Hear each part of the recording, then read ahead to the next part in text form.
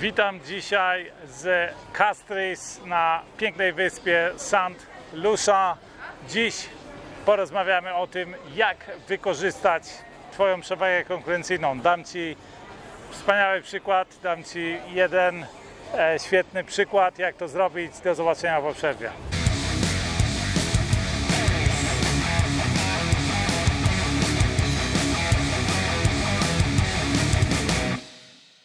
Witam ponownie z St. Lucia.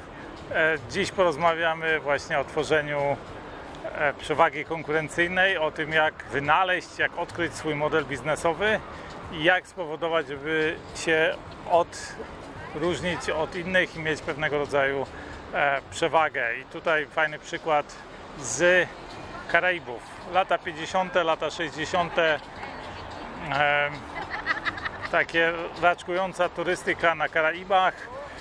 Yy, Najbogatsi ludzie odkrywają Karaiby oczywiście jachtami, e, żaglówkami, żaglowcami e, i są jakieś pojedyncze, małe, można powiedzieć, oazy cywilizacji, jakieś domy prywatne, wille, gdzie no, najbogatsi ludzie po prostu korzystają z piękna tutejszych e, plaż, przyrody, natury i tak. Natomiast słabo jest rozwinięta infrastruktura. E, kraje, które tutaj, czy nawet przedsiębiorstwa, które próbują realizować e, tutaj turystykę na powiedzmy modłę europejską, załóżmy takie przedsiębiorstwo jak TUI, czy Neckermann, czy e, nie wiem w Polsce jakie tam są przedsiębiorstwa, jak oni realizują turystykę, oni realizują w ten sposób, że po prostu e, hotel, chodzi o hotel, gdzie mm, czy w tamtych czasach, lata, no nie wiem, powiedzmy lata 50., 60., 70., e, są hotele, najwyżej może w hotelu turysta dostaje śniadanie, natomiast oczywiście on korzysta z dóbr kulturowych Włoch, czy Francji, czy Hiszpanii, e, obiad, kolację jada na mieście i tak dalej, odkrywa to miasto i, i, tak dalej. Natomiast w tamtych latach wyspy tutaj karaibskie były dosyć mało rozwinięte i dosyć biedne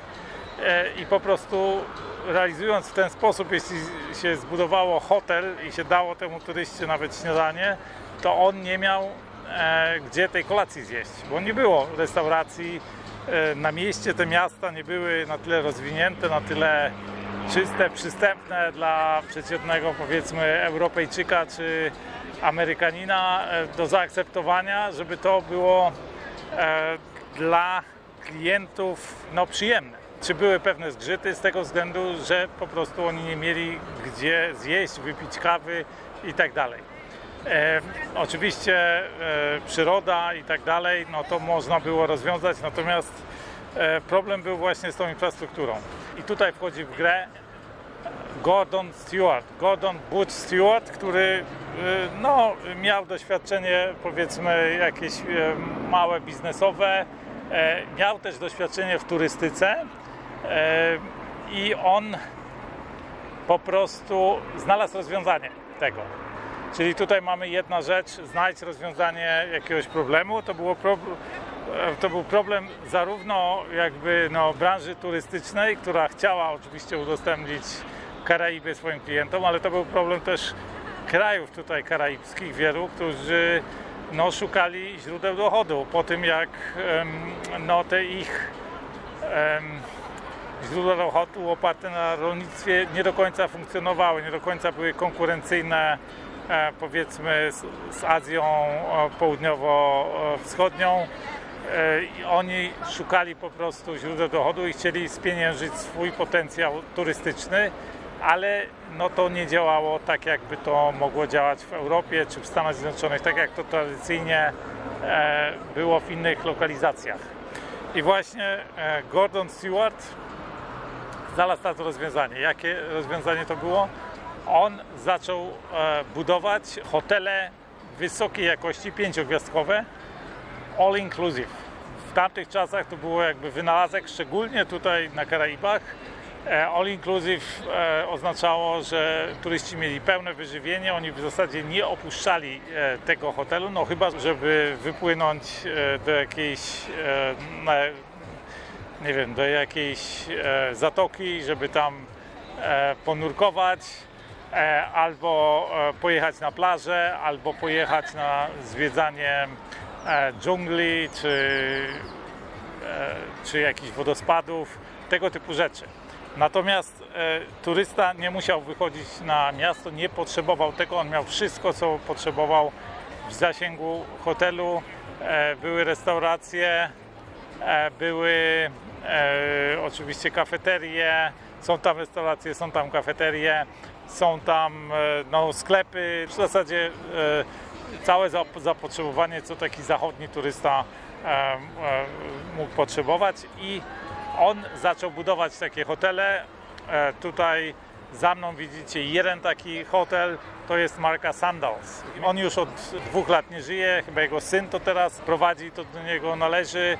Tych hoteli jest z tego co wiem około 50 tutaj na Karaibach, praktycznie na każdej wyspie są hotele Sandals, to są pięciogwiazdkowe all inclusive i ludzie, czy to z Wielkiej Brytanii, czy to ze Stanów, czy z Kanady, po prostu e, bukują u siebie e, cały pakiet z przylotem, z hotelem, z pełnym wyżywieniem, e, często też z pakietem alkoholowym i tak dalej, i tak dalej. Oczywiście położone one są we wspaniałych miejscach. Tutaj na przykład ten Sandals jest położony e, przy takiej e, marinie e, jachtowej. E, Tutaj są jeszcze dwa inne e, Sandals hotele. Jeden jest położony na przykład przy e, pięknej rajskiej plaży karaibskiej, gdzie no ja dzisiaj tam nur- nurkowałem, a snorkeling robiłem i oczywiście no, wspaniałe kolorowe ryby jak w akwarium, tylko że większe. E, Tam można zobaczyć e, biały piasek, no tak jak to na, na Karaibach. Także Gordon Stewart e, znalazł rozwiązanie tego jakby problemu, tudzież tego dylematu, że normalne hotele nie funkcjonowały, ale oczywiście też takie Airbnb i tak dalej, tego typu rzeczy też tutaj nie funkcjonowały. To jeszcze była oczywiście era przed internetem, to ciężko było znaleźć, ale nawet to, co było oferowane przez tubylców, którzy po prostu nawet nie widzieli, jak hotel wygląda na zachodzie, e, no po prostu nie odpowiadało absolutnie standardom e, czy oczekiwaniom e, zachodnich turystów. I on to rozwiązał i oczywiście no, wielki sukces odniósł tutaj i to w ten sposób wykorzystał. Zbudował wspaniałą markę Sandals. Jeśli ktoś z Was był w hotelu Sandals, napiszcie mi poniżej. Ja kiedyś też nagrywałem chyba z Aruby parę lat temu e, też przed hotelem Sandals. Chyba też coś o tym e, mówiłem, także odnajdźcie ten film. E, gdzieś tam e, na pewno jeszcze jest dostępny. E, wpiszcie indywidualista Aruba czy coś takiego. E, to sprzed paru lat tam znajdziecie ten film. W każdym razie w ten sposób buduje się model biznesowy i właśnie taką automatyczną przewagę, e, przewagę biznesową, ponieważ on był e, przez długi czas jedynym, który to rozumiał. Jego hotele były o wiele droższe od, od innych hoteli. Natomiast e, turyści to buchowali. To były jedyne hotele przez pewien czas, gdzie turyści po prostu byli w pełni zadowoleni, które zawsze dostawały najwyższe oceny. I, e, I oczywiście no wówczas jeszcze nie było internetu, social media i tak dalej, ale e, było coś takiego jak word of mouth, czyli e, no, poczta pantoflowa. Jeden drugiemu o tym opowiadał, ludzie przyjeżdżali zachwyceni, natomiast goście innych hoteli, innych em, e, innych firm nie byli tak zachwyceni, zawsze były jakieś zgrzyty, no bo on miał taki gość tylko e, śniadanie w swoim hotelu, a później był pozostawiony, pozostawiony jakby na łaskę losu, chodził e, po miasteczkach, wioskach, e, które no, według niego, czy w jego e, mniemaniu, czy w jego odczuciu były brudne, śmierdzące i nie mógł dostać tego do jedzenia, czy w takiej formie i w takim ambiente, jak on by to oczekiwał właśnie ze swoich doświadczeń na zachodzie. I branża potrzebowała parunastu lat, żeby zrozumieć jego w ogóle model biznesowy, dlaczego ten model biznesowy tak działa. No i oczywiście zanim branża się spostrzegła, no to on e, zdominował praktycznie tą luksusową półkę hotelarstwa tutaj na Karaibach. Ja tutaj byłem w różnych hotelach, e, Marriott, Radisson i tak dalej. I muszę powiedzieć, że nawet te e, hotele no, odbiegają jakością od właśnie Sundance, tak? Czyli no, do tej pory w zasadzie te główne marki tu nie odzyskały, nie osiągnęły takiej pozycji, jak mają w innych częściach świata. Także no, to jest taki przepis trochę na sukces. Oczywiście mówimy teraz o myśleniu na wielką skalę. No, jeszcze jest taka rzecz, że jak myślisz na wielką skalę, jak robisz wielkie rzeczy, no to najlepsi pracownicy, najlepsi ludzie lgną do ciebie i chcą jakby z tobą współpracować i on oczywiście zgarnął z rynku tutaj najlepszych e, pracowników, umieścił ich w swoich e, hotelach, żeby zarządzali e, nimi, żeby prowadzili te hotele. No i oczywiście później konkurencja ma ciężko, tak?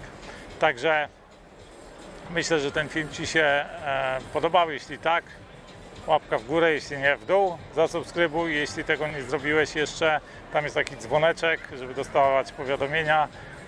Udostępnij e, to wideo znajomym, bliskim. Ja tutaj dużo mówię o robieniu e, biznesu, o tym, jak działają najlepsi przedsiębiorcy na świecie, o tym, co sprawia, że osiągają tak ekstremalny sukces. Mówię o pieniądzu, o ekonomii, także jeśli ten film Ci się podobał, to z pewnością spodobają Ci się moje inne filmy. Zapraszam Cię do ich oglądania. To tyle na dziś. Życzę Ci fantastycznego dnia. Pozdrawiam St. Lucia. Dokonajmy dziś czegoś niezwykłego.